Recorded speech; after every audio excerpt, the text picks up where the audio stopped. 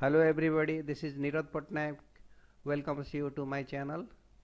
Today I will teach you a basic thing about Photoshop, the difference between copy and copy merged. Copy takes data only from, from the layer which is active, but copy merge takes data from all layers that falls within the selection. So let us find out the difference. So I take the rectangular tool. Now I make a selection. Then edit, copy. If you look at the layer, you find that only the wicket layer is active or that is selected.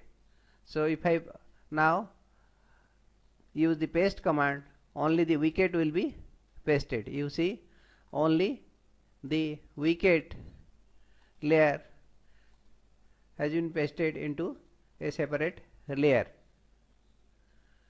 Why is it so?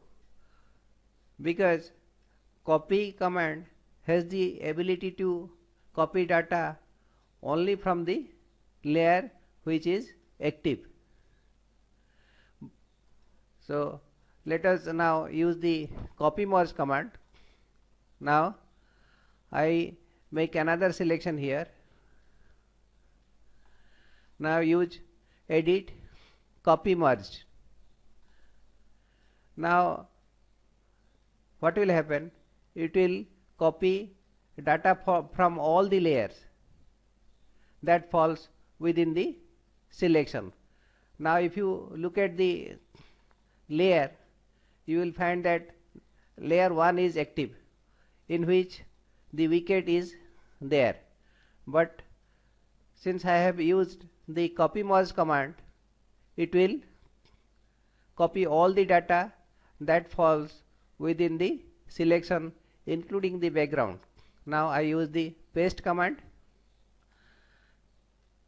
I take the move tool then I move it. If you look at the picture you will find that all the layers have been copied. So you find the difference between copy and copy merge copy takes data only from the layer which is active but copy merge takes that data from all the layers that fall within the selection. So that is the basic difference between copy and copy merged thank you very much for watching my video